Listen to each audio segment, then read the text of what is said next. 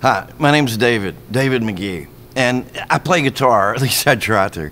And, and you know, every time I try to play a song, it, it's never, to me, it's never perfect. It's never just right.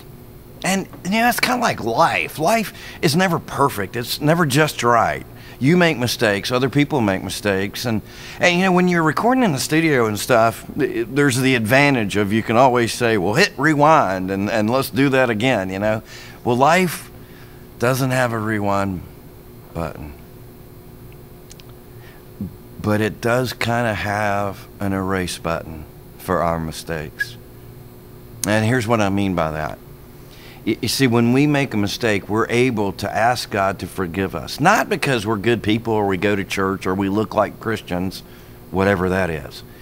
No, Jesus died. Jesus lived a perfect life. He never messed up, but He died for our mistakes so that we can ask Him to forgive us or erase our mistakes. Now, who qualifies to be able to pray? Anybody and everybody. Jesus, and over and over, said, Whoever comes to me, whoever is burdened, weighed down, beat up, beat down, can come to Him.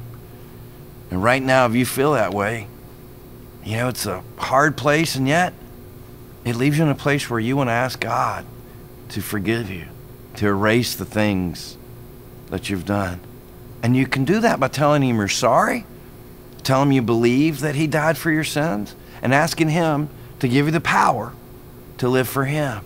And I'd love to pray with you right now. And right now, your life can change from this moment forward. If you'll pray this prayer with me, just pray it out loud wherever you are. Dear Jesus, I believe you died for me, that I could be forgiven. And I believe you were raised from the dead that I could have a new life. And I've done things wrong. And I'm sorry for all those things. Please forgive me. And please give me the power to live for you all the days of my life. Amen. You know, if you prayed that prayer, Jesus made a promise that He's not going to turn anybody away and, and, there's a book in the Bible called Romans, and it's chapter 10 and, and verse 13. It says, Whoever calls on the name of the Lord shall be saved.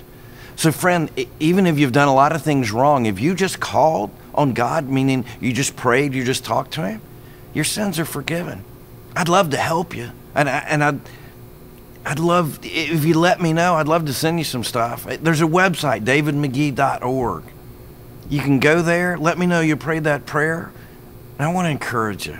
And if you prayed that prayer, you just made the greatest decision that you'll ever make. Thank you so much for your time, and may God bless you.